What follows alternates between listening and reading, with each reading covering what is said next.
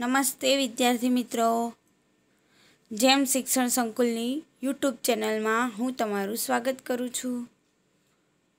આજે આપણે ધોરણ સાતમાં સામાજિક વિજ્ઞાનમાં ચેપ્ટર તેર, સંસાધનોનું જતન અને સંરક્ષણ તેના વિશે અભ્યાસ કરીશું. તો, આ ચેપ્ટરમાં આપણે સંસાધન સંસાધનોના પ્રકાર, સંસાધનોના સંરક્ષણ અને સંસાધનો કયા કયા? તો ભૂમિ સંસાધન, જળ સંસાધન, જંગલ સંસાધન, કૃષિ સંસાધન, પ્રાણી સંસાધન, ખનિજ સંસાધન વગેરે વિશેની વાત કરી. ત્યારબાદ ભૂમિ સંસાધન વિશે આપણે જોયું. તેમાં જમીનના પ્રકારો, ભૂમિ સંરક્ષણ, ત્યારબાદ જળ સંસાધન જળ તંગી વ્યવસ્થાપન, જાળવણી. ત્યારબાદ ખનિજ સંસાધન વિશે પણ આપણે જોયું, જેમાં ખનિજ સંરક્ષણ તેમજ વન અને વન્યજીવ સંસાધન, તેમાં પણ જંગલોના મહત્ત્વ વિશે આપણે જોયું. હવે, આજે આપણે વન સંસા, સંરક્ષણ વિશે જોઈશું. તો, આજે જંગલો ઝડપથી નષ્ટ થઈ રહ્યા છે. એટલે કે ખૂબ જ ઝડપથી જંગલોનો નાશ થાય છે. કેમ કે માનવી પોતાનો વિકાસ કરવા માટે જ્યાં જમીન દેખાય, જ્યાં જંગલ દેખાય, ત્યાં તેને નાશ કરીને તેને કાપીને, તોડીને, ખુલ્લી જગ્યા બનાવીને કંઈક ને કંઈક પોતાના વિકાસને લગતા કાર્યો કરતો રહે છે. આ ઘટતા જતા જંગલો એ વિશ્વની મોટી સમસ્યા બની ગઈ છે. કેમ કે આ રીતે જંગલો ઘટે છે ને ધીરે ધીરે એક દિવસ સંપૂર્ણ જંગલો નાશ થઈ જશે તો બહુ ઓછા ટકામાં જ જંગલો વધશે તો આમ પણ બહુ ઓછી ટકાવારી છે જંગલોની. આ વન ઘટવા માટેના ઘણા કારણો છે. જેમ કે માનવીની જમીન મેળવવાની ભૂખ જેમ બને એમ વધુ જમીન મેળવવી છે માનવીએ. એટલે જંગલોનો નાશ કરીને જમીન બનાવે છે. ઉદ્યોગો માટે કાચો માલ મેળવવા, લાકડું છે, ઔષધ છે, આ બધું કાચા માલ તરીકે વાપરવા માટે પણ નાશ કરે છે. ઇમારતી લાકડું મેળવવા, શહેરીકરણને લીધે પહેલાં જ્યાં ઘણા બધા ખેતરો અને વૃક્ષો અને ઝાડવા હતા, આજે જ્યાં જુઓ તે ઠેર ઠેર બહુમાળી ભવન. અમદાવાદમાં જુઓ તો આખા રિંગ રોડની પેલી પાર સુધી પણ. રિંગ રોડની અંદર તો છે જ આખી વસ્તી શહેરની, પરંતુ રિંગ રોડની પેલે પાર સુધી પણ ઠેર ઠેર બધે બંગલો અને ફ્લેટ મકાન આપણને બનેલા જોવા મળે છે. ખેતરોને જંગલોને સપાટ કરી બોર્ડર બનાવી આખી અને પછી બાંધકામ શરૂ. તો આ રીતે જંગલોનો ખૂબ ઝડપથી ઘટી રહ્યા છે. જંગલોના આડેધડ વિનાશથી કેટલાક માઠા પરિણામો પણ પર્યાવરણને ભોગવવા પડ્યા છે. એક તો પ્રદૂષણમાં વધારો. પ્રદૂષણમાં વધારો થાય. વરસાદનું પ્રમાણ ઘટવું.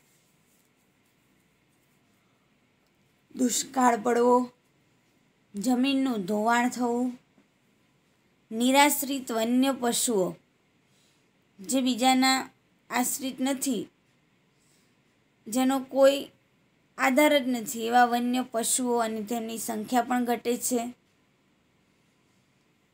વૈશ્વિક તાપમાનમાં વધારો, આખા વિશ્વમાં તાપમાનમાં પણ વધારો થાય છે. પ્રાકૃતિક સૌંદર્ય નાશ પામવું કુદરતનું જે સૌંદર્ય છે, કુદરતી સૌંદર્ય, એ નાશ પામે છે. ખેતર છે, જંગલ છે, વૃક્ષ છે, તે મટીને એક મકાન બને છે, તો એ માનવે બનાવેલું છે. જે કુદરતનું સૌંદર્ય હતું તે તેમાંથી ખોવાઈ ગયું. એટલે કે રીતે કુદરતી સૌંદર્યનો પણ નાશ થાય છે. વગેરે ભારતીય બંધારણમાં વનો સરોવરો, નદીઓ અને વન્ય પ્રાણીઓ સહિત કુદરતી પર્યાવરણનું સંરક્ષણ કરવાની અને તેની સુધારણા કરવાની. એટલે કે આ બધું દ્વારા ભારતીય બંધારણમાં વન, સરોવરો, નદીઓ વન્ય પ્રાણીઓ સહિત કુદરતી પર્યાવરણ આપણું જે બધું છે, એનું રક્ષણ કરવાની, તેને સુધારણા કરવાની ને જીવ પ્રત્યે અનુકંપા દર્શાવવાની નાગરિકની મૂળભૂત ફરજ છે. એટલે કે બીજા જીવ પ્રત્યે થોડી અનુકંપા રાખવી, દયાની ભાવના રાખવી, આ બધી આપણી મૂળભૂત ફરજો છે. વન અને વન્યજીવોને કાયદા દ્વારા પણ રક્ષણ પૂરું પાડવામાં આવ્યું છે. વનનું અને વનમાં રહેતા જીવોનું કાયદાકીય રીતે પણ આપણે તેને નુકસાન કરી શકીએ નહીં નહીં તો સજાને પાત્ર બનીએ છીએ. તેમાં સજાની પણ જોગવાઈ કરવામાં આવેલી છે.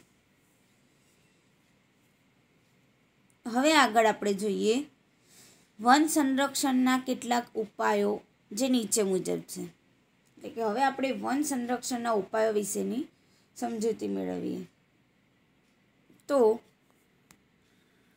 પર્યાવરણ, શિક્ષણ અને પર્યાવરણીય જાગૃતિ લાવવાથી વન સંરક્ષણ કરી શકાશે. આપણે જોઈએ છે કે બાળક ધોરણ ત્રણમાં આવે ત્યારથી અને એક પાઠ્યપુસ્તક આવે પર્યાવરણ.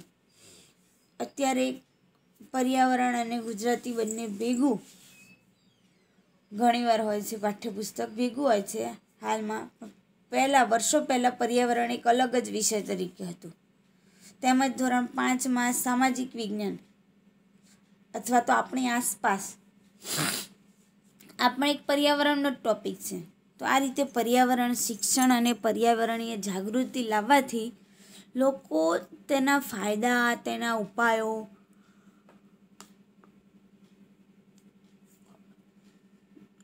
એટલે કે લોકો તેના ફાયદા અને ઉપાયો વિશે સારી રીતે સમજી શકશે અને વન સંરક્ષણ કરી શકાય, વનનું રક્ષણ સારી રીતે કરી શકાય બરાબર ને? તેમજ બીજું, વિવિધ સ્પર્ધાઓ પ્રવૃત્તિઓ દ્વારા જંગલનું મહત્ત્વ સમજાવવું વિવિધ જુદી જુદી સ્પર્ધાઓ કરવી, પ્રવૃત્તિઓ કરી અને જંગલોનું મહત્ત્વ સમજાવવું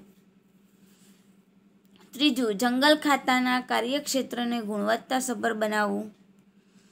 એટલે કે જંગલ ખાતાનું જે બધું કામકાજ છે તે યોગ્ય અસરકારક ગુણવત્તાવાળું બનાવવું. પડતર જમીનમાં વૃક્ષારોપણ કરાવવું. જે જમીન પડતર છે ખુલ્લી છે તેવામાં વૃક્ષો વાવવા, જેથી તે વૃક્ષો ધીમે ધીમે ધીમે મોટા થઈને તે પણ એક જંગલની પરિસ્થિતિ બની શકે. શાળામાં ઇકો ક્લબની રચના કરી વિવિધ પ્રવૃત્તિઓ કરાવી, જેથી બાળકો પણ આ પર્યાવરણ શિક્ષણ વિશે જાગૃતિ મેળવી શકે, જાણી શકે. વૃક્ષારોપણ અને વન મહોત્સવ જેવા કાર્યક્રમોને મહત્ત્વ આપવું એટલે કે વૃક્ષારોપણ વૃક્ષો રોપાવા વન મહોત્સવને જેવા બધા કાર્યક્રમો હોય એને મહત્ત્વ આપવું.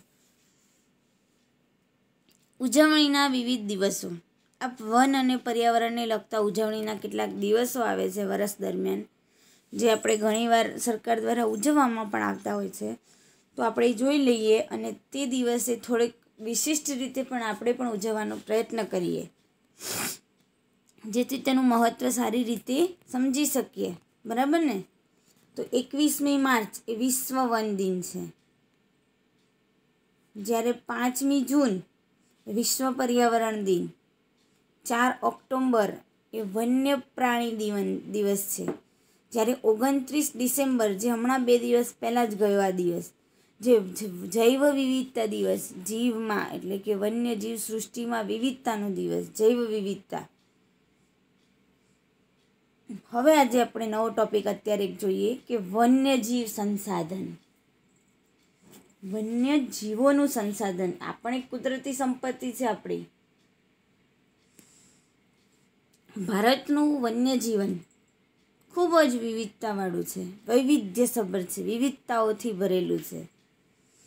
વિશ્વના વિવિધ જંતુઓ અનેકવિધ પ્રાણીઓની પ્રજાતિ ભારતમાં આવેલી છે. એટલે કે આખી દુનિયાના વિવિધ જીવજંતુઓ તેમજ અનેક પ્રાણીઓ, પ્રજાતિઓ, પ્રાણીઓની જુદી જુદી, આ બધું જ ભારતમાં છે. પક્ષીઓ અને માછલાની પ્રજાતિ જોઈએ તો એમાં પણ ઘણી બધી વિવિધતા છે આપણા દેશમાં. પક્ષીઓ પણ ઘણા છે ને માછલાઓની પ્રજાતિ પણ ઘણી બધી છે. સરીસૃપો, સસ્તન વર્ગના અને ઉભયજીવી પ્રાણીઓમાં પણ વિવિધતા જોવા મળે છે. તો આપણે જોઈએ. તો જમ્મુ કાશ્મીર અને લદ્દાખમાં. એટલે કે જમ્મુ કાશ્મીર અને લદ્દાખમાં કાશ્મીરી મૃગ, જંગલી બકરીઓ જોવા મળે છે. તેમજ ઉત્તરાખંડ, કર્ણાટક, કેરળ અને અસમ જેવા રાજ્યોમાં હાથી જોવા મળે છે.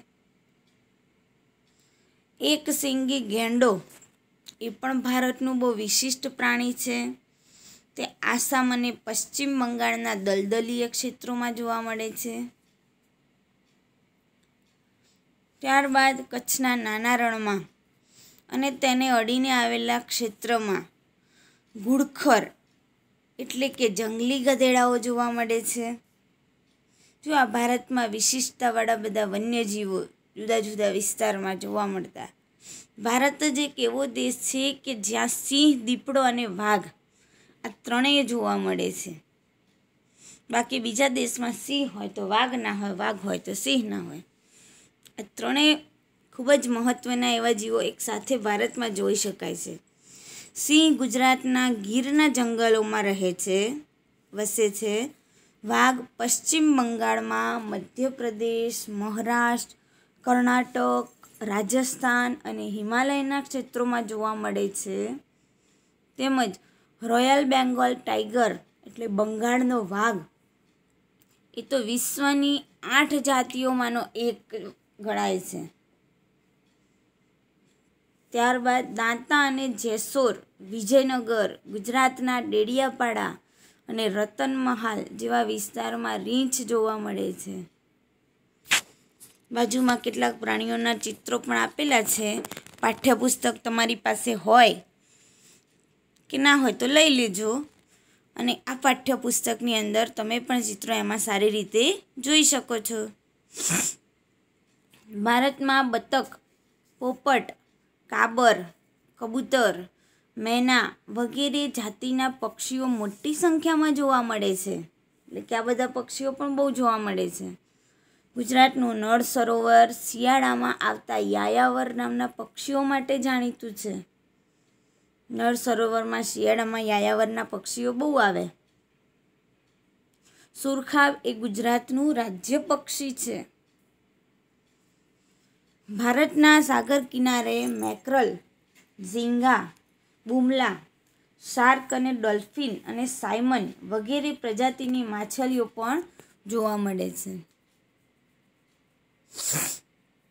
ભારતમાં વિવિધ પ્રકારના હરણ અને સાપની પણ અનેક પ્રજાતિઓ જોવા મળે છે.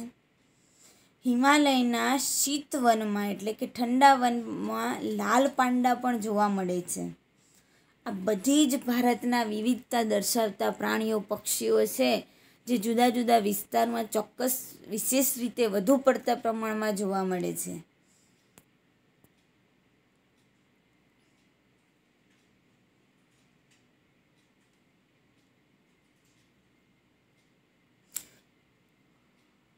હવે આપણે જોઈએ તો લુપ્ત થતું વન્યજીવન.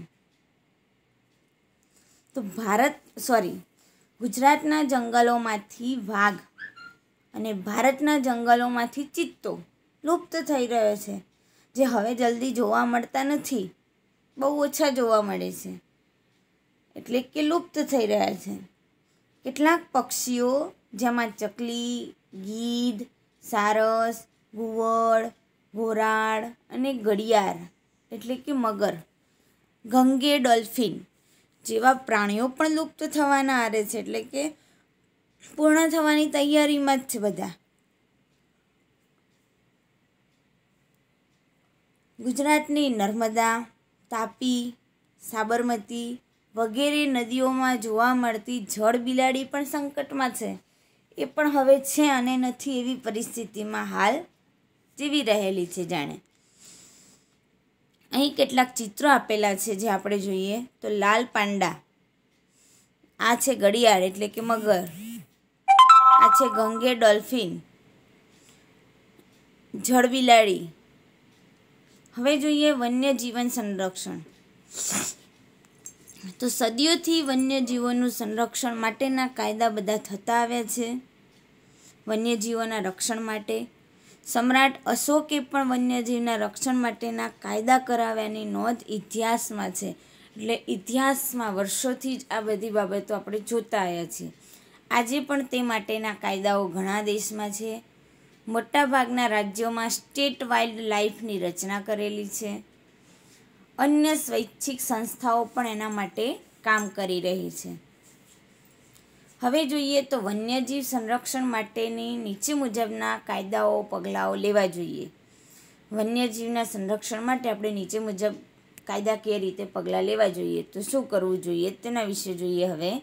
ધ્યાન રાખજો, આ પાઠના દરેકે દરેક નાના નાના ટોપિક જે સારા, સંપૂર્ણ રીતે સમજવા લાયક યોગ્ય માહિતી આપે છે. આની અંદર કોઈ જ તમે તમારા ગપ્પા ઉમેરી શકશો નહીં. ચોક્કસ જે વિસ્તારમાં જેનું નામ આવતું હોય તે જ લખી શકશો. તેથી વિદ્યાર્થી મિત્રો, આ પાઠમાં ખૂબ જ ધ્યાનપૂર્વક સમજવા માટેનો પ્રયત્ન કરજો. બરાબર ને? આપણે પહેલાં જોઈએ વન્યજીવ સંરક્ષણ મુજબના કાયદાકીય પગલાઓ. તો વન્યજીવો પણ થતા અત્યાચાર અને શિકાર પ્રવૃત્તિને અટકાવવા કડક અમલ કરવો જોઈએ. વન્યજીવ ઉપર શિકાર ના કરી શકો તમે, અત્યાચાર ના કરી શકો. ટીવીમાં તમે જોયું હશે થોડા વર્ષો પહેલાં કે સલમાન ખાન ને બીજા ઘણા એવા ફિલ્મી એક્ટરો પણ છે કે જેના કારણે શિકારનો શોખ હોય અને વનમાં ફરતા ફરતા મૃગ ના શિકારના કારણે તેને જેલની સજા પણ થઈ હતી સલમાન ખાનને. એટલે કે ગમે તેવા મહાન કે મોટા વ્યક્તિ હોય, છતાં પણ વન્યજીવોના શિકાર માટે તે એક કાયદાકીય રીતે વિરોધી બાબત છે. અને આ પ્રવૃત્તિ જો તેઓ કરે છે, તો તેની સામે કાયદાકીય કાર્યવાહી થાય જ છે.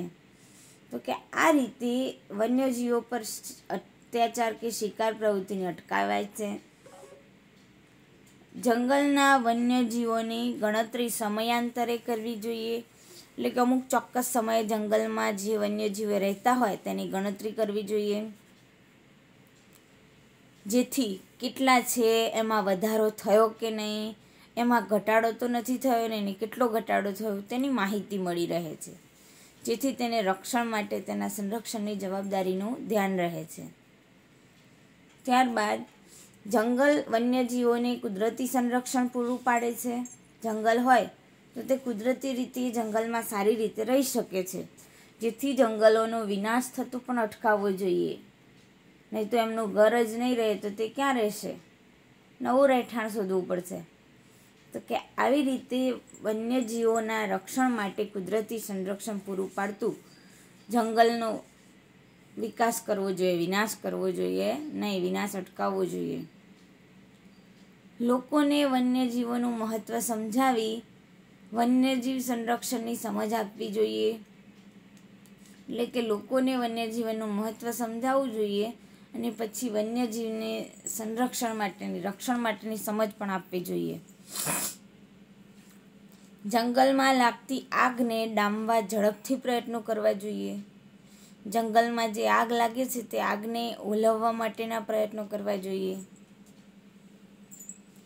જેથી વધુ પડતી આગ ના લાગે ને વધુ પડતું જંગલોને કે વૃક્ષોને નુકસાન ન થાય તે માટે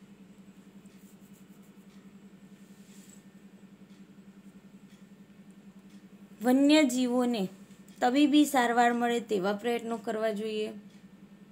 વન્યજીવ એ પણ એક જીવ છે. ક્યારેક એ પણ બીમાર થઈ શકે છે. એને પણ ક્યાંક ક્યારેક નુકસાન થઈ શકે છે.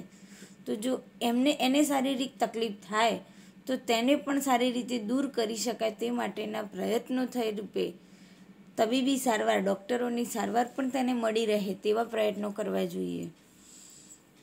વન્યજીવો માટે સંરક્ષિત ક્ષેત્રોનો વિકાસ કરવો જોઈએ.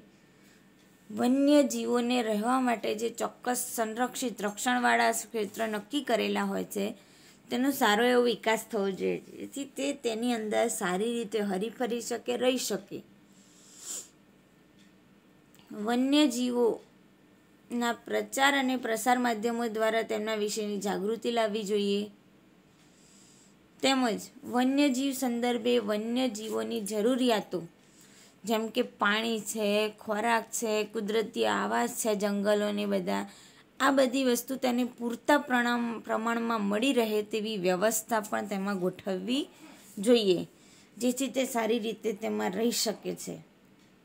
તો વિદ્યાર્થી મિત્રો, આજનો આ ટોપિક આપણો વન્યજીવો વિશેનું આપણે પૂર્ણ કરીએ છીએ. હવે આવતા નેક્સ્ટ વિડીયોમાં રણ પ્રદેશનું જીવન તેમજ બીજા ગણિત ટોપિક હજી આવી રહ્યા છે. જેના વિશે આપણે અભ્યાસ કરીશું.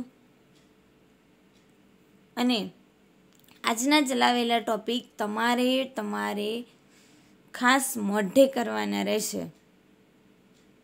કેમ કે દરેકે દરેક બાબત એ યોગ્ય રોકડા માર્ક્સ તમને જે આપી શકે તેવી બાબતોની નોંધ છે. એટલે કે તમારે બને ત્યાં સુધી હવે પરીક્ષા પણ ટૂંક સમયમાં નજીકમાં આવી જ રહી છે. તો અત્યારથી જ તમે તેની શરૂઆત કરી દેજો કે પાઠનું સ્વાધ્યાય થાય, એના પહેલાં જોડે જોડે મોઢે કરવા પણ આપણે પ્રયત્નશીલ બનીએ. Thank you